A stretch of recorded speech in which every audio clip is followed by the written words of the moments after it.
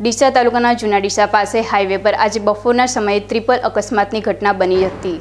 Triple અકસ્માતમાં ચાર લોકોને ગંભીર ઈજા પહોંચતા તમામ ઈજાગ્રસ્તોને સારવાર અર્થે ડીસાની સરકારી હોસ્પિટલ ખાતે ખસેડાયા હતા ડીસા પાટણ હાઈવે પર આવેલ જૂના ડીસા ગામ પાસે આજે ત્રિપલ અકસ્માતની ઘટના સામે આવી છે, જેમાં ઇકો ગાડી, સ્વિફ્ટ કાર અને રિક્ષા વચ્ચે ત્રિપલ અકસ્માત સર્જાયો હતો. અકસ્માતમાં ચાર લોકોને ગંભીર ઈજા પહોંચી હતી. ઘટનાને પગલે આજુબાજુના લોકો અને એકસો આઠ એમ્બ્યુલન્સની વાનની ટીમ પણ તાત્કાલિક ઘટના સ્થળે આવી પહોંચી હતી અને ઈજાગ્રસ્ત લોકોને સારવાર માટે ડીસાની સરકારી હોસ્પિટલ ખાતે ખસેડવામાં આવ્યા હતા.